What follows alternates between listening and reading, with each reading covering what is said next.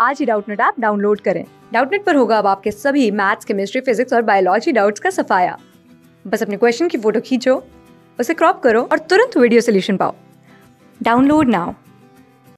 प्रश्न में दे रखा है, निम्नलिखित बहुपदों को अचर, रेखिक, द्विघाती, त्रिघाती तथा चतुर्घाती बहुपद में वर्गीकृत कीजिए, ठीक है? हमें बहुपद दे रखा है, वर्गमूल दो गुणा एक्स माइनस एक, ठीक है? तो सबसे पहले मैं एक एक चीज़ करके बताता हूँ, सारी चीज़ होती है क्या है? अक्षर बहुपद वे बहुपद होते हैं जिसमें जो चर की घात होती है शून्य, ठीक है? और रेखिक बहुपद ऐसे बहुपद होते हैं जिसमें जो चर की घात होती है एक। द्विघाती मतलब दो घात वाला। तो द्विघाती बहुपद ऐसे बहुपद होते हैं जिसमें चर की घात होती है दो, ठीक है? और त्रिघाती मतलब तीन घात वाला बहुपद, त्रिघाती बहुपद ऐसे बहुपद होते हैं जिसमें चर की घात तीन होती है। चतुर्घाती मतलब चार घात वाला, चतुर्घाती बहुपद वह बहुपद होते हैं जिसमें जो चर की घात होती है वो चार होती है, ठीक है? और हमें अब क्या दे रखा था?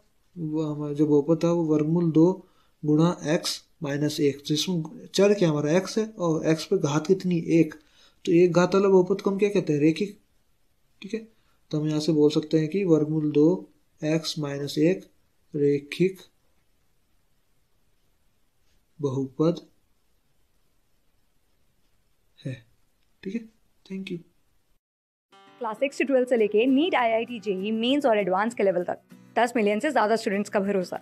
आज ही डाउनलोड करें डाउट नेट आप या व्हाट्सअप कीजिए अपने डाउट्स आठ चार सौ चार सौ चार सौ पर।